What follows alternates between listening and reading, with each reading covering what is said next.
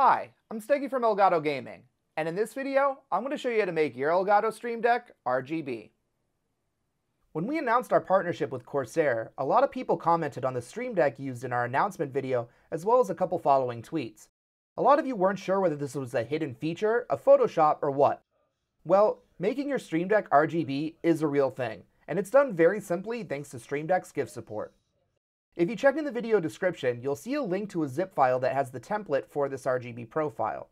It's got 5 GIFs total, so you'll use these 5 GIFs for each row you make icons for. Now, to add icons so you can still label which keys do what, there's a second link in the video description that links you to a library of PNG icons for Stream Deck. These are images with a transparent background which makes them super easy to Photoshop into images, including these GIFs.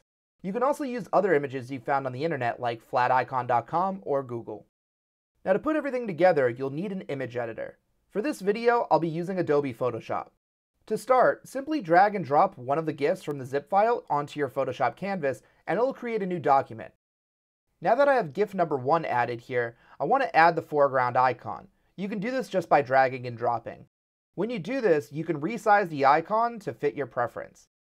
Now, depending on what kind of icon you're adding, you might also want to add text to further clarify what that particular icon does. It's basically just standard Photoshop at this point where you just use the text tool and you're set.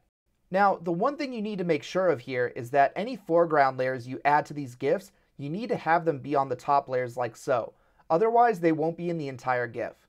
To save this GIF, we're simply going to go to File, Export, and Save for Web Legacy. Unless you work with GIFs and have tweaked these settings here, you're basically good to go with the default values like the ones shown on this screen.